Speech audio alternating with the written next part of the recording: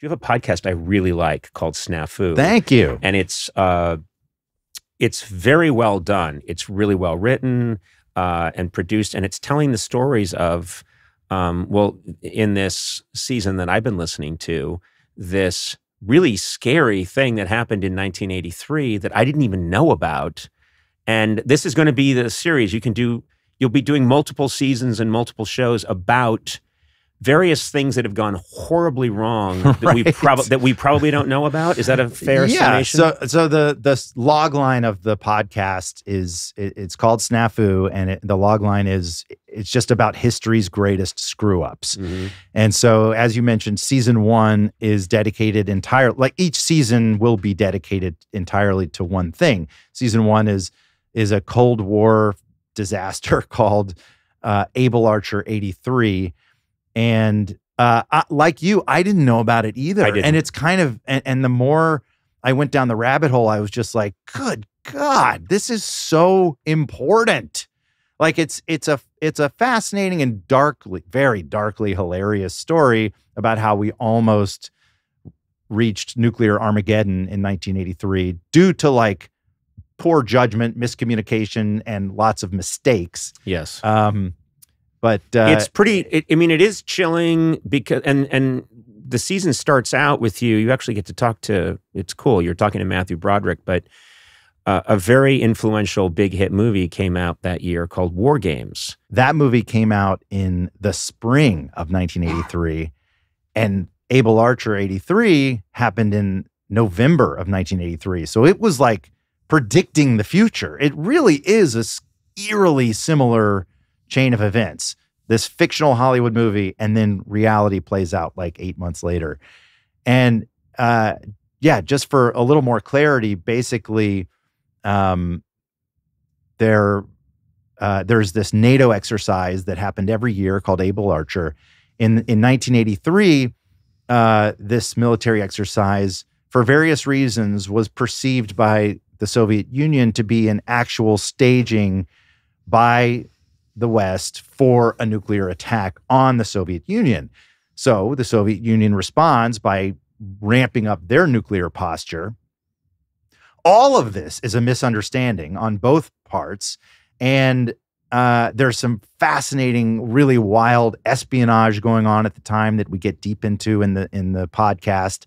Um, and again, there are these very darkly funny misunderstandings, but they're only funny because the stakes are so high that Yeah. all, all you can do is laugh.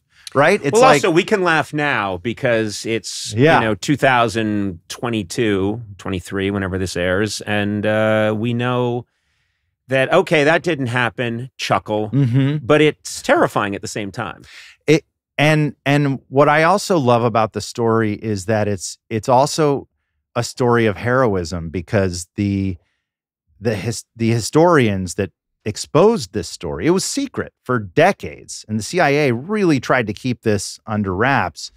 Um, but a few historians really dug deep and you know through Freedom of Information Act requests uh, were able like over years like very tenacious work we're able to bring this story to light and and expose it for what it is and thank god because it's unacceptable right? That's what that's what's so terrifying. It's like i any any risk of nuclear war is unacceptable. The stakes are cataclysmic.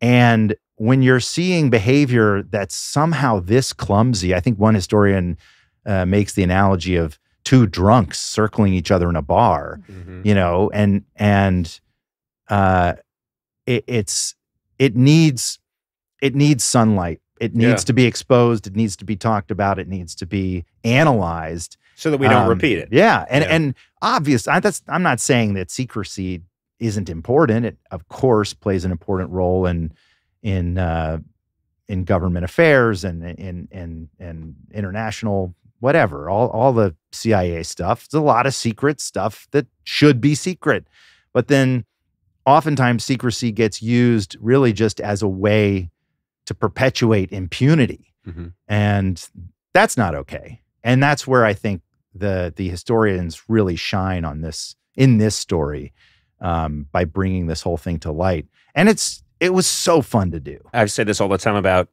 uh, this podcast phenomenon. It's fun.